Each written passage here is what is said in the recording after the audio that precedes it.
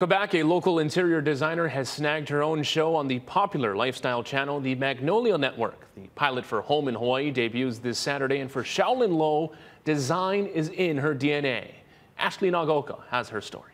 My dad's a general contractor, my mom's also an interior designer, and their parents both were in the industry. So I grew up around construction and around job sites, which is probably why I never thought to do it as a career because it was something that was so obvious to me. Before finding success in interior design, Shaolin Low produced events for some big clients. I did the Oprah's Life You Want tour, I did Fashion Week, things with Instagram, Samsung. After years of being away, the Sacred Hearts grad moved back home to Oahu in 2016.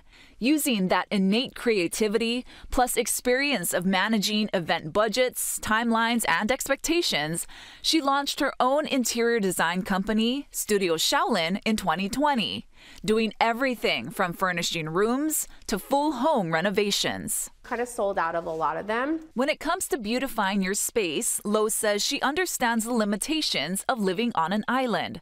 In July, she opened Woven, a home decor store in Kailua, to give people more options and access to some of her favorite brands. You get creative and you actually get to focus on a lot of more smaller brands and kind of bringing in things that are more meaningful, maybe sustainable, and just being really thoughtful about what you're putting in your home. The Magnolia Network, which offers a variety of lifestyle programs curated by fixer upper power couple Chip and Joanna Gaines, approached Low with an opportunity to create a TV show about her design journey. They filmed the pilot over the summer, and it's a family affair, featuring her contractor dad Albert, craftsman husband Leaf, and cameos from her five year old twins, Thea and Shia.